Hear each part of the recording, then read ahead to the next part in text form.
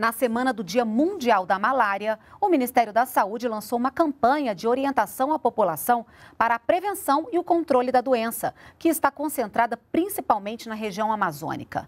Ainda de acordo com o Ministério da Saúde, em 2020 foram notificados cerca de 140 mil casos da doença no país, uma redução de 10% em relação ao ano anterior.